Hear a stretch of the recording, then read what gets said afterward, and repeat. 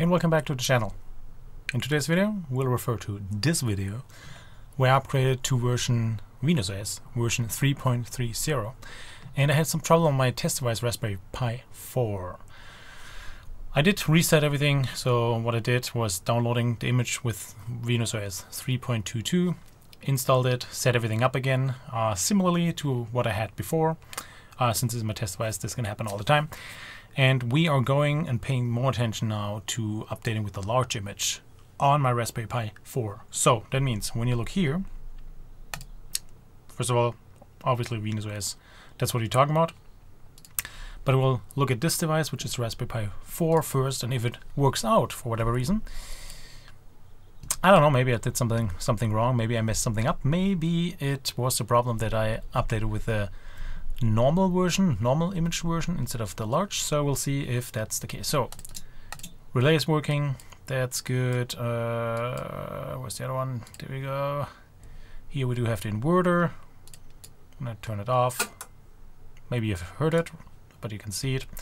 Can turn it back on, and it's coming back up in a second again. So it's working. Also, my one wire is working here as well as a Raspberry Pi temperature. So I have installed the setup helper here as well. So that means we'll go into the settings this time. We'll look into firmware. You can see I still have the version 3.22 installed here.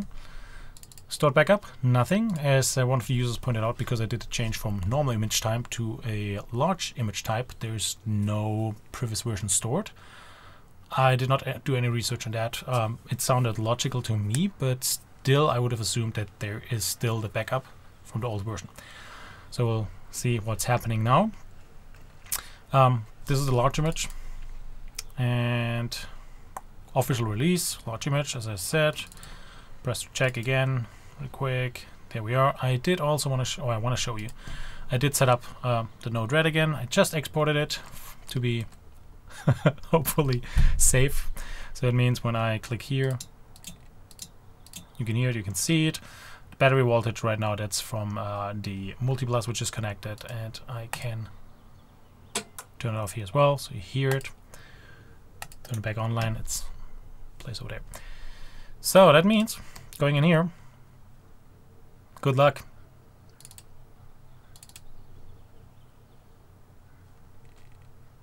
See you later, I would say, right? Okay, so we did the update. I can see there's still installation happening since I finally have connected the display here as well. So you can see I, I told you I will connect a couple devices. So display is back up, relay board is back up, which you can find here the relay board, as well as a multiplus is connected.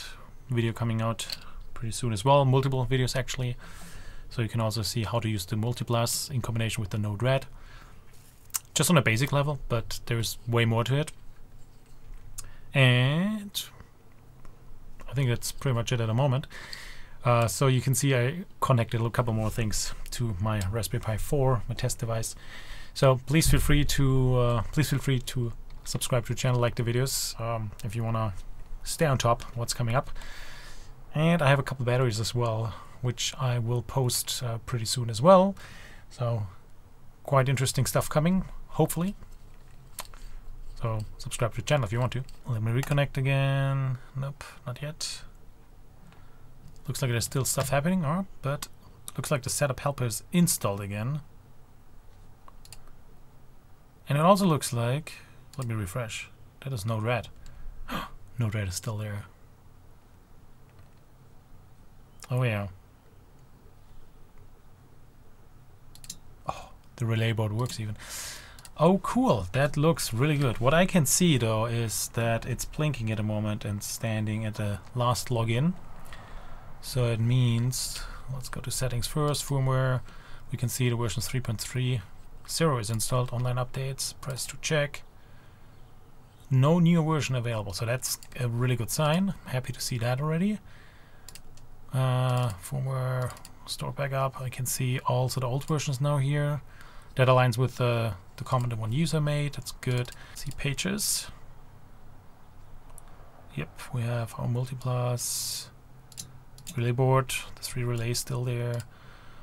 click here. It is on, so when I have it off, just turn it off. Good. Turn back on. So here you can see that's what's happening. That is a good sign. So something must have been off. Maybe it was, and that's maybe something you have to be careful as well with, because I was switching between, what was that, between the beta release and the normal releases. I cannot say it with certainty, I don't know about it, that's just a guess. Or it must have had to do with switching from a normal, sorry, from large image to a normal image with Node-RED something got messed up during that process because the I used the same image actually. I didn't download a new one. I think I figured out. Oh, it, it overwrote the image which I downloaded already. So I used the same image in that case. Node RED. Uh, let's see. We have both temperature sensors in here, so it should come back 23, 41 Celsius. So it should come back here as well at one point, so that shouldn't be a problem with the second temperature, or I might have to change it in configuration, that's also possible as long as it, as it works, so that's great. So let's see. Setup helper seems to be installed as well. I can change to dark mode when I go down all the way. So Venus OS large features. It's activated since it's working.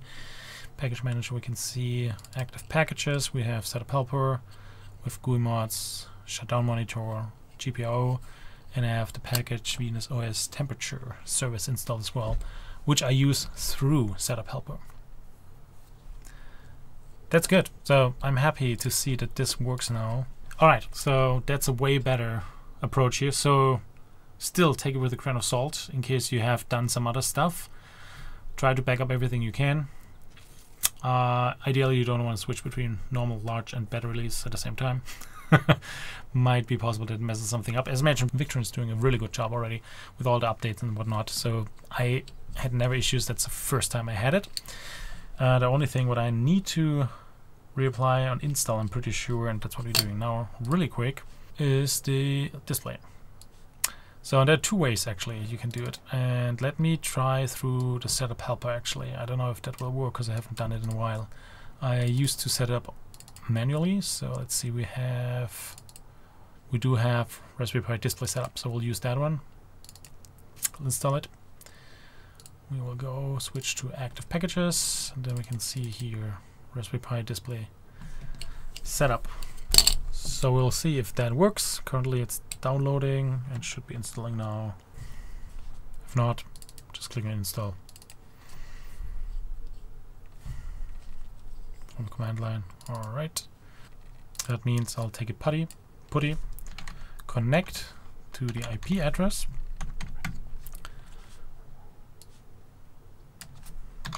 use my root user. That means there we go. Okay, let's see. Uh, since setup help is installed, we need this command slash setup, I believe. Let's see if that works. And it looks like starting up script. Yeah. And we want to install it here as well, so I'll hit install, choose a display from the list above. I have an HDMI, We'll try the automatically configuration.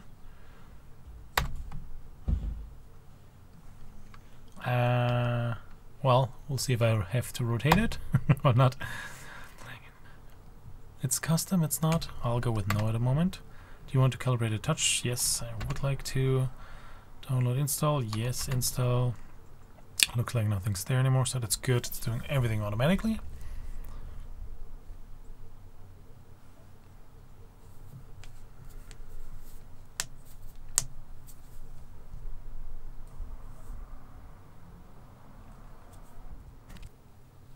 Alright, there we are. System's going reboot. Okay, letting it reboot. We'll see what happens afterwards. So since I do have two mini HDMI outputs, uh, I have to see which one's activated or not, because I think that's something which uh, you might have to plug into the other device. I can see it's booting already, but I was playing around with that already in the past, I remember there was something going on. Looks like I have it plugged into the correct side. At least I see something. Doesn't mean that it will work. Alright, there's the calibration. I have to tap the display five times wherever that little dot is to calibrate the touch. I just did that and now it's rebooting again. And looks pretty good right now. Let's see, reconnect, I can see starting. It's back online. Oh yeah, looks pretty neat. That looks good actually. Let me see if turning off. No, sorry. Let's see if turning on the multiplus will work and help. And here you can see the tapping on the display works pretty well. That's good. Took a while, but also multiplus is coming back online. So, yep, coming back online here. Nice, that's good. All right, and going back to menu, one tap, it works. Nice. So, display is working again. That's great. And that I don't know if that might be something you have to do as well. I had it configured manually, so that's most likely the reason why this happened, because it's not included in the setup helper. Now I have the display back connected, so something which will, for the next update, should stay persistent. Setup helper. Okay, let's let's continue with our Raspberry Pi 3, which is my production device usually. So here you can see it's a battery connected. And let's go to menu. We do have connected, of course we have dark mode, but we have connected um, the SmartShunt and the MPPT charger, charger here, as well as installed the Raspberry Pi processor temperature. Uh, there's nothing else, no relays, anything like that. That's just not. Oh, it looks like I have maybe the package installed, but that's it. So let's go to settings really quick. Let's go to firmware. We can see version 3.22 installed. When I go to stored backups, we can see I had installed the 3.21 and now it's the current running 3.22. Going to online updates, I have the large image, official, release, official release. Let me check for new version and I'll just go ahead and install it. And we will be back when it's installed and see what's happening. Okay, let's see if we can reconnect. Since this device is somewhere else installed, not up here in my office, um, it means I don't see anything. I also don't have a display connected to it, even if I wouldn't be able to see it. I might uh, move multiple components into the production device and the Raspberry Pi 3, or maybe changing and using it differently. But here we are back, so we can see setup help is not installed yet. And most likely this will happen now. So let's give it a couple more minutes or seconds. But I did see different issues slash different uh, responses. Some people said it worked. Um, some people said so some people said it worked with notes. Some people said it didn't work or it worked, but I had to reinstall setup helper. So there are different scenarios. I feel like so. But what I can see already, we have installed version 3.30. Let's just do a sanity check with the latest version in here. Let's go back one more and go to down here and see we do have the package manager. Okay, so it's still working. Let's see active packages. We're not changing that yet, just giving it a couple more minutes because it looks like it needs to refresh its database. I feel like it's done with installation, otherwise it would have reinstalled or installed something else. Automatic GitHub downloads. Looks like it doesn't continue for whatever reason. Let's see, auto install. Let's click it again. Might be not patient enough. Let's see the shutdown monitor really quick. I don't see anything. Interesting. Something's not working here at the moment. Maybe we do have the issue what someone was saying that they had to reinstall setup helper. So let's do that. That means the easiest way in my opinion is using just a console. So I'll connect to my device, which means I'm using PuTTY. Going back to menu real quick, we can see the propane tank came back. That's great to see. And be able to connect when typing the password correct. Here it says Raspberry Pi 2, but it's a 3, using the image of the 2 as Victron describes it. Let's go one more time, setup, or setting, sorry. Let's see, package manager. Yeah, it looks like it somehow lost the connectivity to GitHub or something like that. So, what that means, so we will be using this command, hit enter, and we'll do a reinstall. We'll see if that helps and works. Checking, oh that looks that looks good. Something's happening here. I will let it do its magic and see if that helps. For me that's the quickest way. I actually don't know if there's a different way to do that. I think I never had to do that, so we'll see. Yeah, there it is. Raspberry Pi um, processor temperature. His specs. That's good. Settings. Let's see what's next. Packages. We can see it's installed. So, yeah. Shutdown monitor is installed. The Venus OS temperature service is installed, which is actually the processor temperature in this case. GUI mods is going to be installed now. There we are. It's resetting or restart. No, sorry. It's restarting the GUI. there we are. So I have to reconnect it's back. No patience.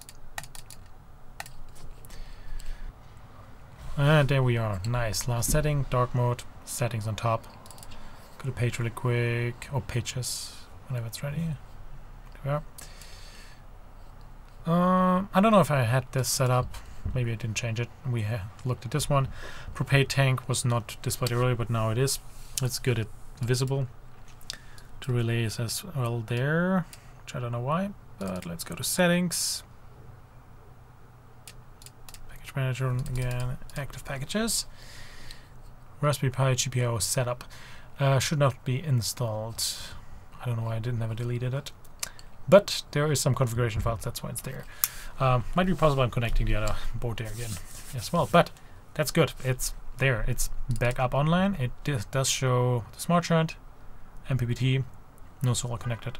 Propane tank is also back, and temperature. Great. I'm happy it worked out um, in quotes flawless, but with some troubleshooting.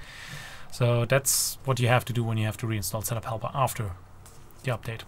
And I think that's it. That's basically wrapping up this second video for upgrading to version 3.30 of Victron Venus OS.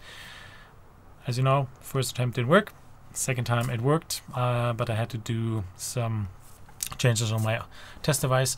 And I think um, I might have been messed it up myself, but it also means for you, as you see on the other device, on the production device, Raspberry Pi 3, depending on your configuration, there might be some troubleshooting, some post setup you have to do or installations you have to do, uh, it might go flaw be totally flawlessly for you and just install and every works everything works out of the box again. But it might also be the case that this is happening to you like it did for me. I hope you enjoyed the video. Questions, please put it below. Also your comments if you have issues with this update as well or not. Keep me posted and I'll try to keep you posted. Thanks for watching. Cheers!